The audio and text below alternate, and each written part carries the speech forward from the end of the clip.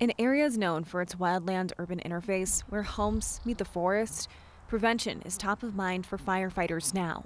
Wildfire mitigation takes a village. Einar Jensen with South Metro helped to create a new plan for Castle Pines. We all have to work together.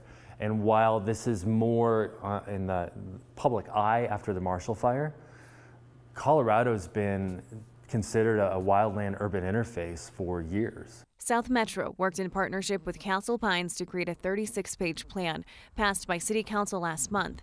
It's designed to assess the hazards and vulnerabilities of the city. The Marshall Fire reminded all of us once again that regardless of where you live in Colorado, you could be vulnerable to a wildfire. It reminded us that we all have a role to play. The plan breaks down what residents should do to reduce risk near their home, including, first and foremost, removing juniper trees, cleaning gutters, and creating a plan for evacuation. All of the partners in your community want to help you, the resident, do better for wildfire mitigation and protecting your family. And by protecting your family, you're also going to help protect those first responders.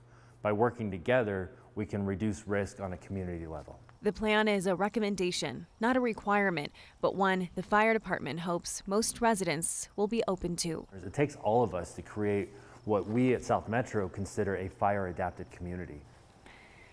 As part of this plan, the fire department will work individually with homeowners as well to identify specifics that could help your home. They will also point to different financial resources for you, such as tax deductions that could help with the cost if you want to make any changes to your house to make it more fire resistant. Jenny, Steve? Just a few simple things you can do to like mitigate that risk of wildfire. Mm -hmm. I think the Marshall Fire just reminded everybody again how easily this can happen. Yeah, so, absolutely. Angeline, thank you.